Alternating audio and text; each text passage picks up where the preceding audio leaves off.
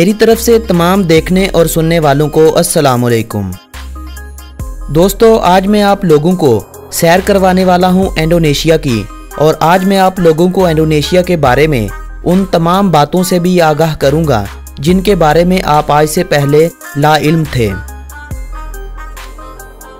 हसब मामूल, एक वही बात कि अगर आपने अभी तक YouTube पर मौजूद हमारा चैनल जानी टीवी सब्सक्राइब नहीं किया तो जल्दी से इस चैनल को सब्सक्राइब कर लें और साथ मौजूद बेल बटन को भी दबा दें, ताकि हमारी हर नई आने वाली वीडियो आप लोगों को आसानी मौसू होती रहे। दोस्तों, इंडोनेशिया जनूब मशरकी एशिया में वाक़ एक मुस्लिम मुल्क है, जहाँ पर अब तक आसार कदीमा वाले पैंतालीस हज़ार साल पहले की ज़िंदगी के आसार का पता देते हैं। इंडोनेशिया में जदीद ज़िंदगी का जहूर 2000 कबल मसीह में हुआ जिसके बाद हमसाया ममालक से लोग इस सरजमीन पर आकर आबाद होना शुरू हो गए।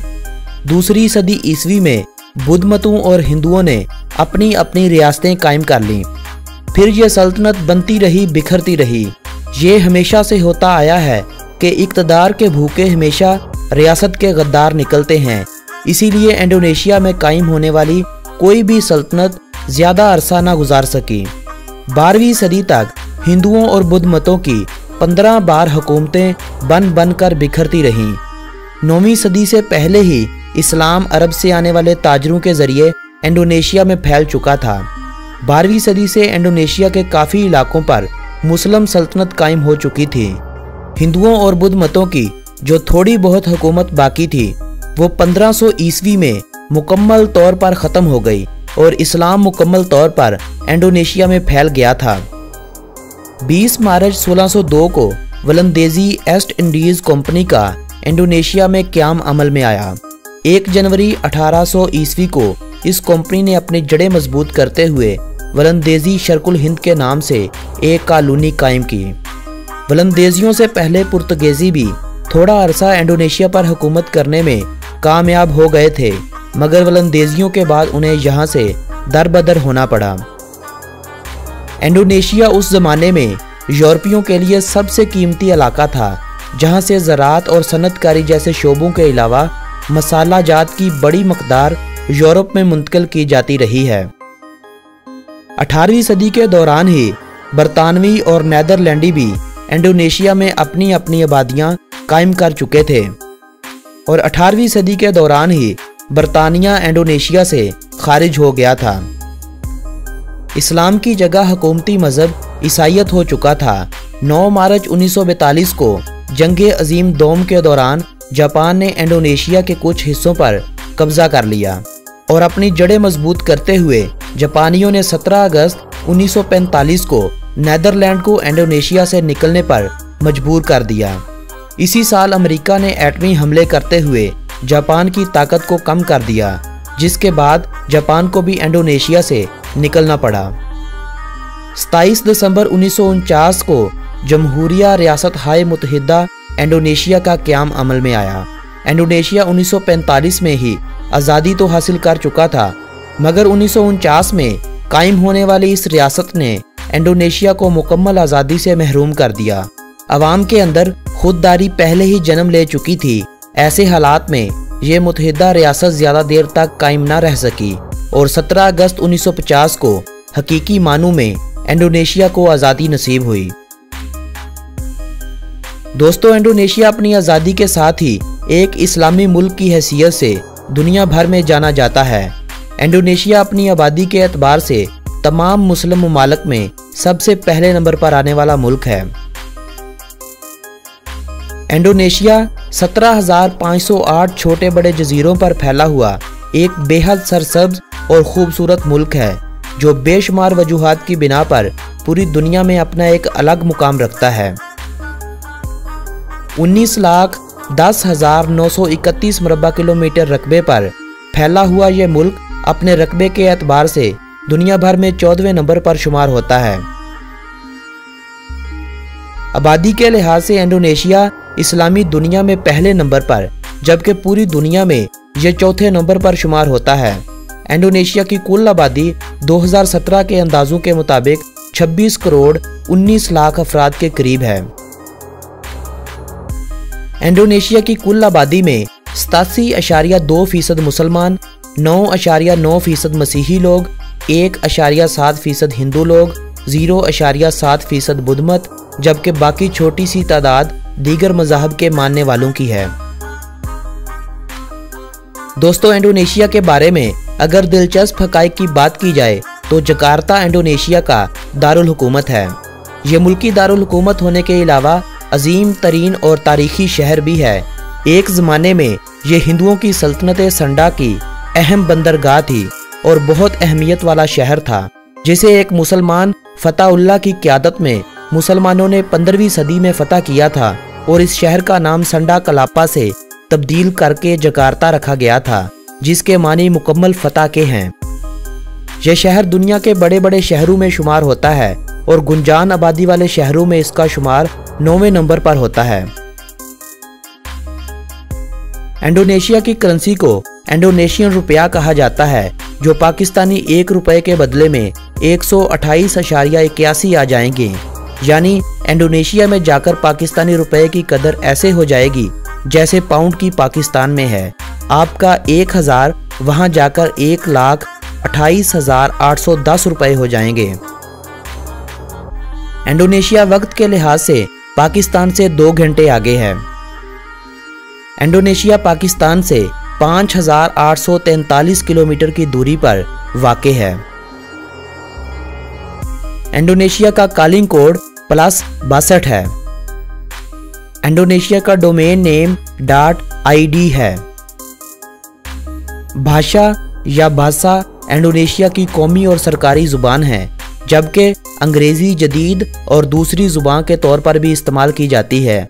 इंडोनेशिया में बोली जाने वाली कुल जुबानों की तादाद सात के लगभग है, जिनमें से संदा, जवाइंस शासक माले और मनहासा ज़्यादा अहम और नुमाया जुबानें हैं। इंडोनेशिया में दीगर गैर मुल्कियों में सबसे ज़्यादा तादाद पाकिस्तानी, इंडियन और बांग्लादेशियों की है, जो अपनी मुल्की जुबानों का भी इस्तेमाल करते हैं। जवान्स मादोरेज भटक और संदेज लोग यहाँ बसने वाली आबादी के बड़े अहम ग्रोह हैं, जबकि दीगर कई एक कबीले भी आबाद हैं। दुनिया का सबसे बड़ा फूल राफलीसिया भी इंडोनेशिया में पाया जाता है, जिसका वज़न सात किलोग्राम के करीब है। इंडोनेशिया में मिलने वाली कोमोडो ड्रैगन दुनिया की सबसे बड़ी छिपकली है, जिसका साइज़ तीन मीटर है।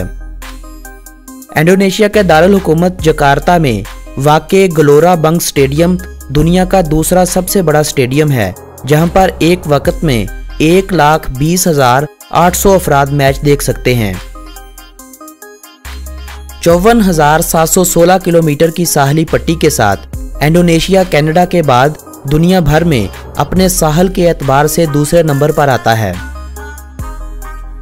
एक वक्त तक इंडोनेशिया अपने रेड लाइट एरिया के हवाले से पहले नंबर पर माना जाता था, जहाँ पर एक वक्त में 2000 से ज़्यादा औरतें जिनसी बदफेली के लिए दस्तियाब हुआ करती थीं।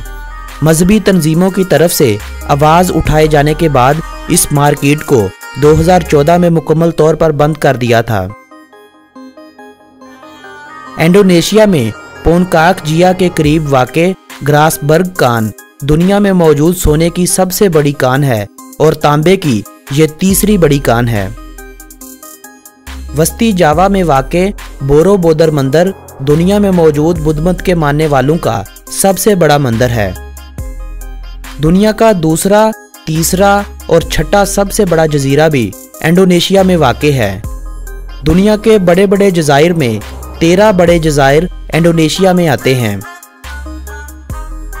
गैनीज बुक वर्ल्ड रिकॉर्ड के मुताबिक दुनिया का सबसे बड़ा सांप 1912 में सलावेसी इंडोनेशिया से पकड़ा गया था, जिसका साइज़ 10 मीटर था। इंडोनेशिया का दारुल हुकूमत जकार्ता अपने रकबे के लिहाज से दुनिया का तेरहवा सबसे बड़ा शहर है। कुदरती तब्दीलियों से होने वाली सबसे ज़्यादा अमवात इंडोनेशिया में 2004 में आने वाले तसोनामी से हुई थी, जिनकी तादाद कुछ दो लाख तीस हज़ार अफराद के करीब बताई जाती है। इंडोनेशिया का झंडा बिल्कुल मोनाको के झंडे जैसा है, सिर्फ़ साइज़ में इंडोनेशिया का झंडा थोड़ा लंबा है। अलबत्ता पोलैंड का झंडा इंडोनेशिया के झंडे में साइज़ में तकरीबन बराबर है। बस इसमें फ़र्क ये है कि रेड कलर निचली जानब है। इंडोनेशिया का जजीरा जावा दुनिया का सबसे गुंजान आबाद जजीरा है। इस जजीरे पर इंडोनेशिया की तकरीबन निसफ आबादी आबाद है। इंडोनेशिया अपनी मीशत के हवाले से दुनिया भर में सातवें नंबर पर शुमार होता है। इंडोनेशिया की मीशत में सोने, तांबे और ज़रात के अलावा रबड़ की एक्सपोर्ट बहुत नुमाया है। रबड़ की एक्सपोर्ट के हवाले से ये दुनिया भर में दूसरे नंबर पर आता है। जाउन रेनो इंडोनेशिया का ही एक जानवर है, जो इंडोनेशिया के अलावा आपको दुनिया के किसी भी मुल्क में देखने को नहीं मिलेगा। इनकी तादाद अब 50 के करीब रह चुकी है। अगर आप झीलों के पानी का रंग बदलता देखना चाहते हैं तो ये भी आपको इंडोनेशिया में ही देखने को मिलेंगी। क्योंकि इंडोनेशिया में आतश फशा पहाड़ कैलूमोटू पर चढ़ने के बाद ये झीलें आपको नज़र आएँगी, जो गैसों के अखराज से अपना रंग सुर्ख, सब्ज, काला, नीला और हत्ता के कई रंगों में तब्दील कर लेती हैं। इंडोनेशिया में तकरीबन एक सौ आतश फशा पहाड़ हैं। आपकी इतला के लिए मजीद बताता चलूँ कि सिंगापुर का कौमी तराना भी एक इंडोनेशियन ने लिखा था, जिसका नाम जुबैर सईद था। इंडोनेशिया मुल्क के अंदर अंदर ही तीन टाइम जोन हैं, जबकि फ्रांस में टाइम जोन की तादाद 12 है। इंडोनेशिया जनूब मशरकी एशिया में सबसे बड़ी मीशत है। गारोडा, इंडोनेशिया का कौमी परिंदा है। इंडोनेशिया का मुकम्मल नाम रिपब्लिक ऑफ़ इंडोनेशिया है। इंडोनेशिया अपने Komodo dragon, beaches, tigers, music और कदीम आमाज गाहों की वजह से सियाहों की तवज्जो का मरकज बना हुआ है, जिसे देखने 2016 में एक करोड़ 20 लाख से ज़्यादा अफराद ने इंडोनेशिया का विज़िट किया था। सियाहत दीगर शोबों की तरह इंडोनेशिया की आमदनी में इजाफे की एक बड़ी वजह है। इंडोनेशिया दुनिया भर में सबसे ज़्यादा जवान मर्दों वाला मुल्क है। इंडोनेशिया में तकरीबन 15 करोड़ के करीब तादाद ऐसे लोगों की है, जो अभी 30 साल से छोटे हैं। इंडोनेशिया दुनिया में छोटे कद के लोगों के हवाले से पहले नंबर पर आता है, जबकि दुनिया में लंबे कद के लोगों के लिहाज से पहला नंबर नैदरलैंड का है। 2011 की एक रिपोर्ट के मुताबिक इंडोनेशिया में तकरीबन तीन लाख से ज़्यादा जानवर और परिंदे पाए जाते हैं, जो पूरी दुनिया के जानवरों और परिंदों की तादाद का 15 फ़ीसद बनते हैं, जबकि दुनिया की 45 फ़ीसद मछलियाँ इंडोनेशिया के पानियों में रहती हैं। इंडोनेशिया पाम ऑयल की पैदावार के हवाले से दुनिया में पहले नंबर पर आता है और पूरी दुनिया का 50 फ़ीसद पाम ऑयल इंडोनेशिया से एक्सपोर्ट किया जाता है। इंडोनेशिया के खानों में चाइनीज़, इंडियन, पाकिस्तानी मशरक वस्ता और यूरोपियों के खाने शामिल हैं। ब्राज़ील के बाद दुनिया का सबसे बड़ा जंगल भी इंडोनेशिया में पाया जाता है, जहाँ आज भी कुछ तादाद में जंगली कबीले आबाद हैं, जिनका जदीद ज़िंदगी के लोगों से कोई वास्ता नहीं है। बैडमिंटन और फुटबॉल इंडोनेशिया में सबसे ज़्यादा और शौक से खेली जाने वाली खेले हैं। जबकि बास्केटबॉल, बॉक्सिंग और इंडोनेशियन मार्शल आर्ट दीगर खेली जाने वाली खेले हैं। इंडोनेशिया में तालीम की तरफ़ पहले से बहुत ज़्यादा तवज्जो दी जा रही है। अब शरा तालीम बढ़कर पचानवे अशारिया अड़तीस फ़ीसद तक पहुँच चुकी है। दोस्तों, ये थी इंडोनेशिया के बारे में दिलचस्प मालूम पर मबनी एक छोटी सी वीडियो। इंडोनेशिया के बारे में रह जाने वाली बातें, वीज़े के हसूल और तफरीही मुकाम का ज़िक्र हम अगले माह से शुरू होने वाले अपने वीडियो सिलसिले में बयान करेंगे। आज की ये वीडियो अगर आप दोस्तों को पसंद आई हो तो इस वीडियो को अपने अजीज़ों अहबाब के साथ व्हाट्सएप और फेसबुक वाल पर शेयर करते हुए अपनी पसंदीदगी का इजहार करें। मेरी हौसला अफजाई के लिए लाइक का बटन भी प्रेस कर दें और आप अपनी कीमती आरा बजरिया कमेंट हमें अरसाल कर सकते हैं। अगली वीडियो तक अपने इस दोस्त को इजाज़त दें। अल्लाह निगहबान